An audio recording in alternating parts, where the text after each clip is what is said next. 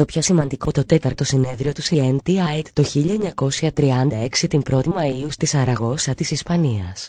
Η Εθνική Συνομοσπονδία Εργασίας προσχώρησε στη Διεθνή Ένωση Εργαζομένων. Κατάσκευη ενία της Επανάστασης. Πρώτα δώστε σε κάθε άτομο αυτό που απαιτούν οι ανάγκες του, χωρίς να έχει άλλους περιορισμούς στην ικανοποίησή του από αυτούς που επιβάλλονται από τις δυνατότητες της οικονομίας. Δεύτερο, έτοιμα από κάθε άτομο για τη μέγιστη συμβολή των προσπαθειών του σύμφωνα με τις ανάγκες της κοινωνίας, λαμβάνοντας υπόψη τις φυσικές και ηθικές συνθήκες του κάθε ατόμου. Οργάνωση της νέας κοινωνίας μετά την επαναστατική εκδήλωση. Τα πρώτα μέτρα της επανάστασης. Καταργούνται τα ακόλουθα. Ιδιωτική ιδιοκτησία, το κράτος, η αρχή της εξουσίας και, κατά συνέπεια, οι τάξεις που χωρίζουν τους εκμεταλλευτές και τους εκμεταλλευόμενους. Καταπιεσμένοι και καταπιεστές. Μόλις κοινωνικοποιηθεί ο πλούτος, οι οργανώσεις των ελεύθερων παραγωγών θα είναι υπεύθυνες για την άμεση διαχείριση της παραγωγής και της κατανάλωσης. Μόλις δημιουργηθεί η αναρχική κομμούνα σε κάθε περιοχή, θα θέσουμε σε κίνηση τον νέο κοινωνικό μηχανισμό. Η παραγωγή κάθε κλάδου ή επαγγέλματος που συναντώνται στα σωματεία τους και στο χώρο εργασίας θα καθορίσουν ελεύθερα τον τρόπο με τον οποίο θα οργανωθεί. Η ελεύθερη κομμούνα θα αρπάξει ότι είχε προηγουμένως την κατοχή της αστικής τάξης, όπως τρόφιμα, ρούχα, πρώτες ύλες, εργαλεία εργασίας κάπα λάμδα πι. Αυτά τα εργαλεία εργασίας και οι πρώτες ύλες πρέπει να διατίθενται στους παραγωγούς, ώστε να μπορούν να τα διαχειρίζονται άμεσα προς όφελος της κοινότητας.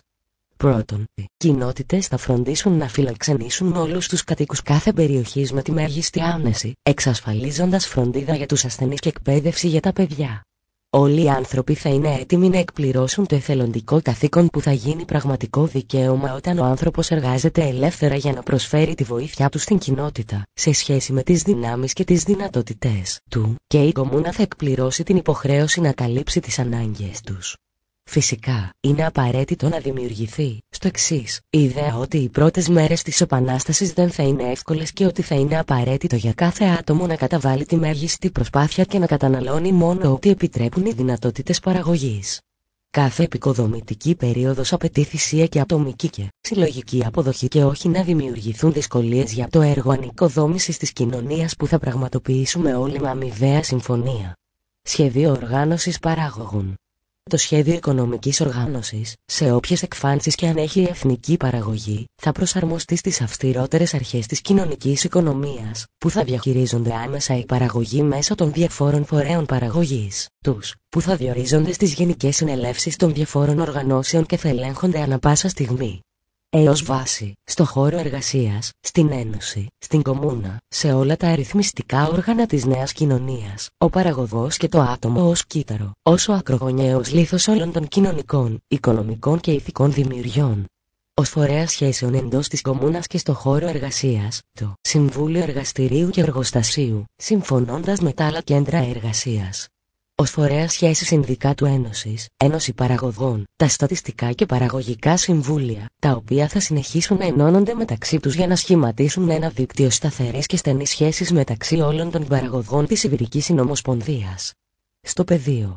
Ω βάση, ο παραγωγός στην κομμούνα, ο οποίος θα επωφεληθεί από όλους τους φυσικούς πόρους μιας πολιτικής και γεωγραφικής οριοθέτησης, ως φορέα σχέσεων, το ΣΡΟΠ Council, το οποίο θα περιλαμβάνει τεχνικά στοιχεία και εργαζόμενους που είναι μέλη των ενώσεων αγροτικών παραγωγών, υπεύθυνους για την εντατικοποίηση της παραγωγής, επισημένοντας τις καταλληλότερες εκτάσεις για αυτήν, ανάλογα με τη χημική του σύνθεση. Αυτά τα συμβούλια καλλιέργειας θα δημιουργήσουν το ίδιο δίκτυο σχέσεων με τα συμβούλια εργαστηρίου, εργοστασίου και παραγωγής και στατιστικής, συμπληρώνοντας την ελεύθερη ομοσπονδία που η Κομμούνα εκπροσωπεί ως πολιτική οριοθέτηση και γεωγραφική υποδιέρεση. Τόσο οι ενώσεις βιομηχανικών παραγωγών όσο και οι ενώσεις γεωργικών παραγωγών θα ομοσπονδιαστούν σε εθνικό επίπεδο, εφόσον είναι μόνο σε μια χώρα που έχει πραγματοποιήσει τη. Ο κοινωνικός μετασχηματισμός, εάν σε αυτό το δίλημα από την ίδια εργασιακή διαδικασία στην οποία εκπαιδεύονται, θεωρούν ότι είναι βολικό για την πιο γόνιμη ανάπτυξη της οικονομίας και πανομοιότυπα οι υπηρεσίες των οποίων το χαρακτηριστικό την είναι να διευκολύνει τις λογικές και απαραίτητες σχέσεις μεταξύ όλων των αναρχικών κοινοτήτων θα ομοσπονδιαστούν με την ίδια έννοια. Εκτιμούμε ότι με την πάροδο του χρόνου η νέα κοινωνία θα είναι σε θέση να παρέχει σε κάθε κομμούνα όλα τα γεωργικά και βιομηχανικά στοιχεία που είναι απαραίτητα για την αυτονομία της. Σύμφωνα με τη βιολογική αρχή που ορίζει ότι το άτομο είναι πιο ελεύθερο, στην περίπτωση αυτή η κομμούνα που έχει λιγότερες ανάγκες σε άλλα. Οι αναρχίστικες κοινότητες και η λειτουργία τους. Το άτομο, η κομμούνα και η ομοσπονδία. Η διοίκηση θα είναι απολύτως κοινοτικού χαρακτήρα. Η βάση αυτής της διοίκησης θα είναι συνεπώς η κομμούνα. Αυτές οι κοινότητες θα είναι αυτόνομες και θα ομοσπονδιαστούν σε περιφερειακό και εθνικό επίπεδο για την υλοποίηση των στόχων γενικής φύσης. Το δικαίωμα αυτονομίας δεν θα αποκλείει το καθήκον συμμόρφωσης με τις συλλογικές συμβάσεις συνύπαρξης, που δεν μοιράζονται με απλές εκτιμήσεις και γίνονται αποδεκτές επί της ουσίας. Έτσι, μια κομμούνα καταναλωτών χωρίς εκούσιο περιορισμό θα αναλάβει να τηρήσει τους κανόνες γενικής φύσης που, μετά από δωρεάν συζήτηση, έχουν συμφωνηθεί από την πλειοψηφία. Από την άλλη πλευρά, οι κοινότητες που, ανθεκτικές στην εκβιομηχάνηση, συμφωνούν με άλλα είδη συνύπαρξης, όπως φυσιοδίφες και γυμνιστές και άλλα, θα έχουν το δικαίωμα σε αυτόνομη διοίκηση, αποσπασμένη από γενικές δεσμεύσεις καθώς αυτές οι γυμνές φυσικές κομμούνες ή οποιαδήποτε άλλη κατηγορία κομμούνας δεν θα είναι σε θέση να ικανοποιήσουν όλες τις ανάγκες τους, όσο περιορισμένες και αν είναι, οι εκπρόσωποι τους στα συνέδρια της Ιβηρικής Συνομοσπονδίας Αυτόνομων Αναρχικών Κομμούνων θα μπορούν να συνάπτουν οικονομικές συμφωνίες με τις άλλες αγροτικές και βιομηχανικές κοινότητες. Εν κατακλείδη προτείνουμε η δημιουργία της κομμούνας ως γενικής και διοικητικής κοινωνικής συντονιστικής οντότητας. Η κομμούνα θα είναι αυτόνομη και συνομοσπονδιακή στις υπόλοιπες κοινότητες. Οι κομμούνες θα ομοσπονδιαστούν περιφερειακά και περιφερειακά, θέτοντας τα γεωγραφικά τους όρια κατά βούληση, όταν είναι βολικό να ενωθούν μικρές πόλεις, χωριά και μέρη σε μια νέα κομμούνα. Το σύνολο αυτών των κομμούνων θα αποτελέσει μια υβρική συνομοσπονδία αναρχικών αυτόνομων κοινοτήτων, για τη διανεμητική λειτουργία της παραγωγής και έτσι ώστε οι κοινότητες να καλλιεργηθούν καλύτερα, μπορούν να δημιουργηθούν αυτοί οι συμπληρωματικοί φορείς που στοχεύουν στην επίτευξη αυτού του στόχου. Για παράδειγμα, ένα συνομοσπονδιακό συμβούλιο παραγωγής και διανομής, με άμεσες αντιπροσωπείες των εθνικών, ομοσπονδιών παραγωγής και του ετήσιου συνεδρίου των κομμούνων. Απόστολη και εσωτερική λειτουργία της κοινότητας. Η κομμούνα πρέπει να φροντίσει για το τι ενδιαφέρει το άτομο θα πρέπει να αναλάβει όλα τα έργα οργάνωσης, διευθέτησης και εξοραϊσμού του πληθυσμού. Για τη διαμονή των κατοίκων της. Των άρθρων και προϊόντων που έχουν τεθεί στην υπηρεσία σας από τις συνδικαλιστικές οργανώσεις ή τις ενώσεις παραγωγών. Θα ασχοληθεί επίσης με την υγιεινή, τις στατιστικές της κοινότητας και τις συλλογικές ανάγκες, τη διδασκαλία, τα ευρήματα υγείας και τη διατήρηση και βελτίωση των εγκαταστάσεων υγείας. Τοπικά μέσα μαζικής ενημέρωσης, θα οργανώσει σχέσεις με τις άλλες κοινότητες και θα φροντίσει να τονώσει όλες τις καλλιτεχνικές και πολιτιστικές δραστηριότητες. Για την ορθή εκπλήρωση αυτής της αποστολής θα οριστεί ένα κοινοτικό συμβούλιο, στο οποίο θα προσθεθούν εκπρόσωποι των Συμβουλίων Καλλιέργειας, Υγείας, Πολιτισμού, Διανομής και Παραγωγής και Στατιστικής. Η διαδικασία εκλογής των κοινοτικών συμβουλίων θα καθοριστεί σύμφωνα με ένα σύστημα στο οποίο καθορίζουν τις διαφορές που συμβουλεύει η πυκνότητα του πληθυσμού, λαμβάνοντας υπόψη ότι θα χρειαστεί χρόνος για την πολιτική αποκέντρωση των Μητροπόλεων, αποτελώντας μαζί τους ομοσπονδίες των κοινοτήτων. Όλες αυτές οι θέσεις δεν θα έχουν εκτελεστικό ή γραφειοκρατικό χαρακτήρα. Εκτός από εκείνους που εκτελούν τεχνικές ή απλώς στατιστικές λειτουργίες, οι άλλοι θα εκπληρώσουν επίσης την αποστολή τους ως παραγωγή, συνεδριάζοντας σε συνεδρίες στο τέλος της εργάσιμης ημέρας για να συζητήσουν λεπτομερή ζητήματα που δεν χρειάζονται την έγκριση των κοινοτικών συνελεύσεων. Οι συνελεύσεις θα πραγματοποιούνται όσες φορές χρειάζονται τα συμφέροντα της κομμούνας, κατόπιν αιτήματος των μελών του Κοινοτικού Συμβουλίου ή με τη θέληση των κατοίκων του καθενός.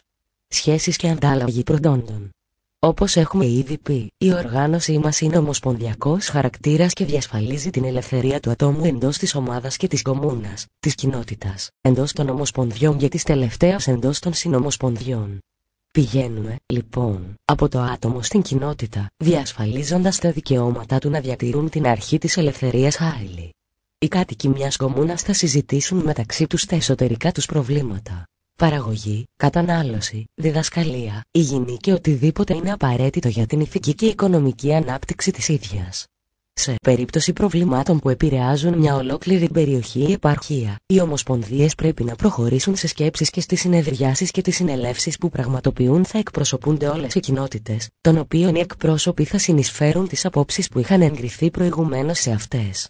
Για παράδειγμα, εάν πρέπει να χτίσουν δρόμους που να συνδέουν τις πόλεις μιας περιοχής ή θέματα μεταφοράς και ανταλλαγής προϊόντων μεταξύ γεωργικών και βιομηχανικών περιοχών, είναι φυσικό όλες οι κοινότητες να εκθέτουν τα κριτήριά τους, καθώς πρέπει επίσης να παρέχουν τη βοήθειά τους σε θέματα περιφερειακού χαρακτήρα. Η Περιφερειακή Ομοσπονδία θα εφαρμόσει τις συμφωνίες και αυτές θα αντιπροσωπεύουν την κυριαρχή βούληση όλων των κατοίκων της περιοχής.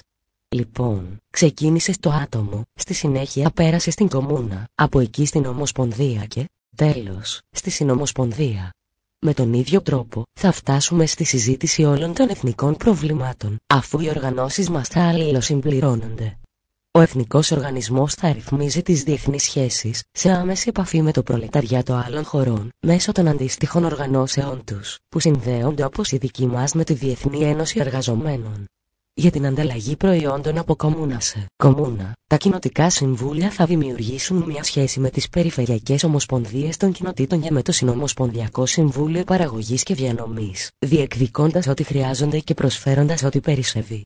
Μέσω του δικτύου σχέσεων που δημιουργήθηκαν μεταξύ των κοινοτήτων και των Συμβουλίων Παραγωγής και Στατιστικής, που συγκροτήθηκαν από τις Εθνικές Ομοσπονδίες Παραγωγών, το πρόβλημα αυτό λύνεται και απλοποιείται. Όσον αφορά την κοινοτική πτυχή του ίδιου, οι επιστολές από τον παραγωγό θα αρκούν και θα εκδίδονται από τα συμβούλια εργαστηρίου και εργοστασίου, δίνοντας το δικαίωμα να μπορούν να αποκτήσουν ό,τι είναι απαραίτητο για να καλύψουν όλες τις ανάγκες τους. Η επιστολή παραγωγού αποτελεί την αρχή ενός σημείου αλλαγής, η οποία θα υπόκειται σε αυτά, τα δύο ρυθμιστικά στοιχεία. Πρώτον, ότι δεν είναι μεταβιβάσιμο. Δεύτερον, να θεσπιστεί διαδικασία με την οποία στην επιστολή να καταγράφεται η αξία του έργου ανά μονάδα της εργάσιμης ημέρας και αυτή η αξία να έχει μέγιστο έτος ισχύως για την απόκτηση προϊόντων. Στα στοιχεία του παθητικού πληθυσμού, τα κοινοτικά συμβούλια θα τους παράσχουν τις επιστολές κατανάλωσης. Φυσικά, δεν μπορούμε να θέσουμε ένα απόλυτο πρότυπο πρέπει να γίνει σεβαστή η αυτονομία των κοινοτήτων, οι οποίες, αν το κρίνουν βολικό, μπορούν να δημιουργήσουν ένα άλλο εσωτερικό σύστημα ανταλλαγής, υπό την προϋπόθεση ότι αυτά τα νέα συστήματα δεν μπορούν να βλάψουν, σε κάθε περίπτωση, τα συμφέροντα άλλων κοινοτήτων. Καθήκοντα του ατόμου στη συλλογικότητα και η έννοια της διανόμικης δικαιόσυνης. Ο αναρχισμός είναι ασυμβίβαστος με οποιοδήποτε σύστημα διόρθωσης, γεγονός που συνεπάγεται την εξαφάνιση του τρέχοντος συστήματος σοφρονιστικής δικαιοσύνης και ως εκ τούτου τα όργανα τιμωρίας, φυλακές, φυλακές π. Αυτό το έγγραφο εννοεί ότι ο κοινωνικός δετερμινισμός είναι η κύρια αιτία των λεγόμενων εγκλημάτων στην παρούσα κατάσταση των πραγμάτων και, κατά συνέπεια, μόλις εξαφανιστούν οι αιτίες που προκάλεσαν το έγκλημα, στις περισσότερες περιπτώσεις θα πάψει να υπάρχει. Έτσι, θεωρούμε. Πρώτον, ότι τα ανθρώπινα όντα δεν είναι κακά από τη φύση τους και ότι το έγκλημα είναι ένα λογικό αποτέλεσμα της κατάστασης της κοινωνικής αδικίας στην οποία ζούμε. Δεύτερον, καλύπτοντας τις ανάγκες τους, δίνοντας επίσης περιθώριο για μια ορθολογική και ανθρώπινη εκπαίδευση, αυτές οι αιτίες πρέπει να εξαφανιστούν. Γεια, το λόγο αυτό, καταλαβαίνουμε ότι όταν το άτομο αποτύχει να εκπληρώσει τα καθήκοντά του, τόσο στην ηθική τάξη όσο και στις λειτουργίες του ως παραγωγού, θα είναι οι λαϊκές συνελεύσεις που, με αρμονική αίσθηση, θα δώσουν μια δίκαιη λύση στην υπόθεση. Ο αναρχισμός λοιπόν θα θεσπίσει τη διορθωτική δράση τους στην ιατρική και την παιδαγωγική, τα μόνα προληπτικά μέτρα στα οποία η σύγχρονη επιστήμη αναγνωρίζει ένα τέτοιο δικαίωμα. Όταν ένα άτομο, θύμα παθολογικών φαινομένων, επιχειρεί ενάντια στην αρμονία που πρέπει να επικρατεί μεταξύ των ανθρώπων, η παιδαγωγική θεραπεία θα φροντίσει να θεραπεύσει την ανισορροπία του και θα τονώσει μέσα του την ηθική αίσθηση κοινωνικής ευθύνης που φυσικά του αρνήθηκε μια ανθυγινή κληρονομιά. Η θρησκευτική ερώτηση η θρησκεία, μια καθαρά υποκειμενική εκδήλωση του ανθρώπου, θα αναγνωριστεί μόλις παραμείνει στη σκηνή της ατομικής συνείδησης, αλλά σε καμία περίπτωση δεν μπορεί να θεωρηθεί ως μορφή δημόσιας επίδειξης ή ηθικού ή πνευματικού εξαναγκασμού. Τα άτομα θα είναι ελεύθερα να συλλάβουν όσες ηθικές ιδέες κρίνουν κατάλληλες, με όλες τις τελετές να εξαφανίζονται. Αμήνα της Επανάστασης. Παραδεχόμαστε την ανάγκη υπεράσπισης των κατακτήσεων που έγιναν μέσω της Επανάστασης πιθανότατα ο καπιταλισμός τους δεν θα υποχωρήσει μόνος του για να στερηθεί των συμφερόντων που με την πάροδο του χρόνου απέκτησε. Επομένως, όσο η κοινωνική επανάσταση δεν διαμβεύει διεθνώς, θα ληφθούν τα απαραίτητα μέτρα για την υπεράσπιση του νέου καθεστώτος, είτε ενάντια στον κίνδυνο μιας ξένης καπιταλιστικής εισβολής, που προαναφέρθηκε, είτε για την πρόληψη της αντεπανάστασης στο εσωτερικό της χώρας. Ένας μόνιμος στρατός αποτελεί τον μεγαλύτερο κίνδυνο για την επανάσταση, αφού υπό την επιρροή της θα σφυριλατηθεί η δικτατορία που επρόκειτο να τη χτυπήσει μοιραία. Σε στιγμές αγώνα, όταν οι δυνάμεις του κράτους, εν όλο ή εν μέρη, ενώνονται με τον λαό, αυτές οι οργανωμένες δυνάμεις θα προσφέρουν τη βοήθειά τους στους δρόμους για να νικήσουν την αστική τάξη. Έχοντας κατακτήσει αυτό, θα έχετε τελειώσει τη δουλειά σας. Ο ένοπλος λαός θα είναι η μεγαλύτερη εγγύηση απέναντι σε κάθε προσπάθεια αποκατάστασης του καθεστώτος που καταστράφηκε από προσπάθειες από μέσα ή από το εξωτερικό. Υπάρχουν χιλιάδες εργαζόμενοι που πέρασαν από το στρατόνα και γνωρίζουν τη σύγχρονη στρατιωτική τεχνική. Ότι κάθε κομμούνα έχει τα όπλα και τα αμυντικά της στοιχεία, αφού μέχρι να σταθεροποιηθεί οριστικά η επανάσταση, αυτά δεν θα καταστραφούν για να μετατραπούν σε όργανα εργασίας. Συνιστούμε την ανάγκη διατήρησης αεροπλάνων, τάγκς, θωρακισμένων φορτηγών, πολυβόλων και ανδιαροπορικών πυροβόλων, δεδομένου ότι ο αέρας είναι ο πραγματικός κίνδυνος ξένων καπιταλιστικών εισβολών. Εάν φτάσει αυτή η στιγμή, η πόλη θα κινητοποιηθεί γρήγορα για να αντιμετωπίσει τον εχθρό. Επιστρέφοντας τους παραγωγούς στους χώρους εργασίας μόλις εκπληρώσουν την αμυντική τους αποστολή. Σε αυτή τη γενική κινητοποίηση, θα κατανοηθούν όλα τα άτομα και των δύο φίλων που είναι κατάλληλα για τον αγώνα και που προετοιμάζονται για αυτόν εκτελώντας τις πολλαπλές αποστολές που απαιτούνται στη μάχη. Τα συνομοσπονδιακά αμυντικά στελέχη, που επεκτείνονται στα κέντρα παραγωγής, θα είναι η πιο πολύτιμη βοηθή για να εδραιώσουν τις κατακτήσεις της Επανάστασης και να εκπαιδεύσουν τα συστατικά τους για τους αγώνες που πρέπει να διατηρήσουμε σε υπεράσπιση σε μεγάλα επίπεδα. Ω εκ τούτου δηλώνουμε. Πρώτον, ο αφοπλισμός του καπιταλισμού συνεπάγεται την παράδοση όπλων στις κοινότητες, οι οποίες θα είναι υπεύθυνες για τη διατήρησή τους και οι οποίοι θα φροντίσουν, σε εθνικό επίπεδο, να οργανώσουν αποτελεσματικά τα αμυντικά μέσα. Δεύτερον, στο διεθνές πλαίσιο, θα πρέπει να κάνουμε έντονη προπαγάνδα μεταξύ του προλεταριάτου όλων των χωρών, ώστε να αυξήσουν την ενεργητική τους διαμαρτυρία, δηλώνοντας κινήματα αλληλεγγύης απέναντι σε οποιαδήποτε απόπειρα εισβολής από τις αντίστοιχες κυβερνήσεις τους. Ταυτόχρονα, η Ιδρική Συνομοσπονδία Αναρχικών Αυτόνομων Κοινοτήτων μας θα βοηθήσει, ηθικά και υλικά, όλους τους εκμεταλλευόμενους στον κόσμο, να απελευθερωθούν για πάντα από την ερατόδικη δαιμονία του καπιταλισμού.